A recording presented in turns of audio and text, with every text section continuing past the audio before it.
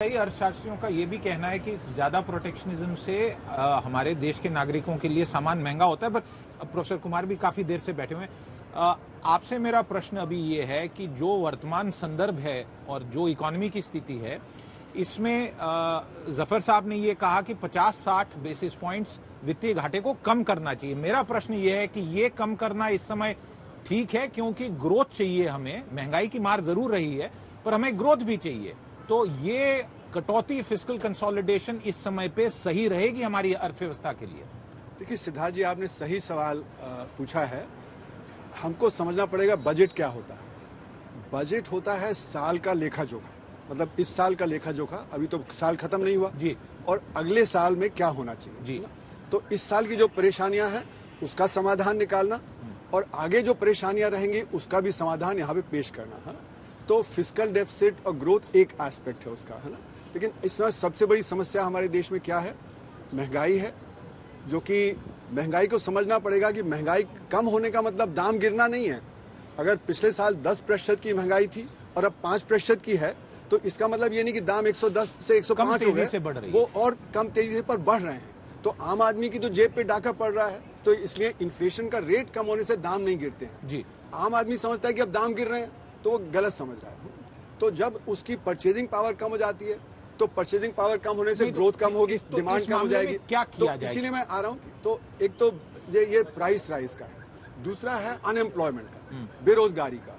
क्योंकि जब आपकी आमदनी नहीं होगी तो आप कैसे जब खपत करेंगे? तो रोज़गार पैदा करना ज़रूरी है। और रोज़गार कहाँ पे? ये भी एक अहम चीज़ है क्योंकि उन्होंने पीएलआई की बात की तो रोज़गार कहाँ पैदा असंगठित क्षेत्र में? क्योंकि असंगठित क्षेत्र में चौरानवे प्रतिशत लोग काम करते हैं संगठित क्षेत्र में छह प्रतिशत काम करते हैं। पीएलआई का फ़ायदा तो सिर्फ़ संगठित क्षेत्र को पहुंचेगा।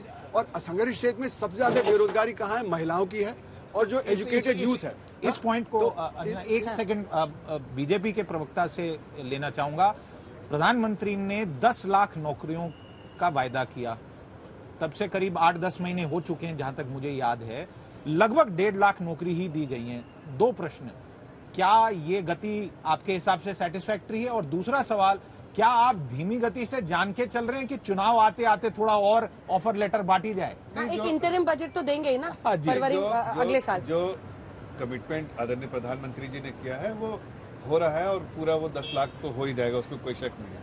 लेकिन नहीं उतनी तेज़ी से हो रहा है कि नहीं? मतलब तेज़ी से हो रहा है। प्रधानमंत्री का वादा है काम सब तेज़ी से होता है इस सरकार तो में तेज़ी से क्यों देरी हो? कोई देरी नहीं है तेज़ी से प्रोसेस चल रहा है और कंप्लीट भी होगा। लेकिन जो सवाल ये प्रोसेस जो है वो अगले तीन चार महीने में खत्म भी हो जाएगा।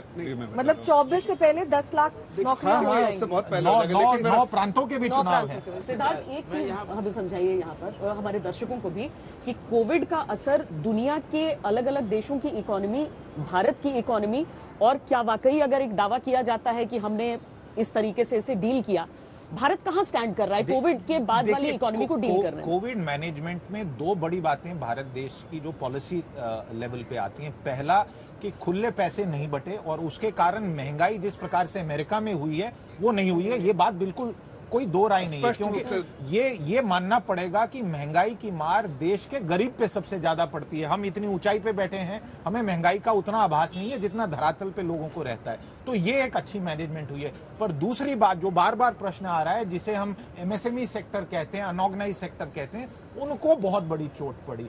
और अब जो तीसरी बात कही जा रही है मनरेगा का विषय जो उठा उसमें एक छोटी बात कहूँगा।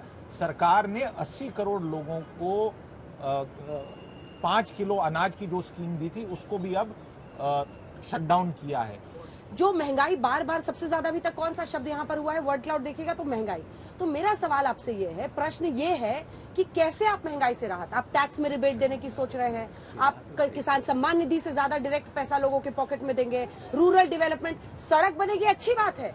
लेकिन डायरेक्ट राहत कैसे देने की सोच रहे हैं? आप आप देखिए सबके अकाउंट में पैसा जाने से इन्फ्लेशन कम नहीं होता उसी का अभी एग्ज़ाम्पल होना चाहिए पैसा होता नहीं नहीं नहीं उसी का एग्ज़ाम्पल मनी सप्लाई और मनी बैंक अकाउंट में ट्रांसफ़र कर देने से इन्फ्लेशन कम नहीं होता है। बढ़ जाता है डिमांड बढ़ पेंट अप डिमांड और बढ़ जाता है। लेकिन जो तरीके होते हैं कि आप जो रूरल एरियाज़ में आप इन्वेस्टमेंट करेंगे जॉब आएगी एम्प्लॉयमेंट आएगा और ज़्यादा बढ़ेगा उससे जो है इन्फ्लेशन भी कंट्रोल रहता है और एम्प्लॉयमेंट भी आपको देने के सक्षम होते हैं। मेरे सरकार का फोकस ऐसा लगता है कि वही होगा कि एक तो फ़िज़िकल कंसोलिडेशन दूसरा रूरल डेवलपमेंट में फोकस रहना चाहिए। और साथ साथ जो एक छोटी सी चीज़ मैं कहना चाहता हूँ, जो लोग अभी, कि अगर आप ग्लोबल आप, जैसा मैंने कहा कि इंडियन इकोनॉमी आइसोलेशन में ग्लोबल इकोनॉमी के कोई परिप्रेक्ष्य में देखना चाहिए ग्लोबल इकोनॉमी कंट्रैक्शन हो रहा है, लेकिन चाइना में सडन डिमांड जो है इकोनॉमिक एक्टिविटीज़ बहुत तेज़ी से बढ़ गई है। ग्लोबल एनर्जी की जो डिमांड जो है, वो सडन बढ़ गया, इसलिए कि अमेरिका और यूरोप में कम डिमांड है, लेकिन चाइना में बहुत डिमांड है। और इस वो एक कहीं ना कहीं इन्फ्लेशन के लिए दुनिया के लिए खतरा है। सिर्फ़ हिंदुस्तान के लिए दुनिया के लिए खतरा है। लेकिन भारत सरकार आज भी उसको मेंटेन करके रखे ये बहुत बड़ी अचीवमेंट है।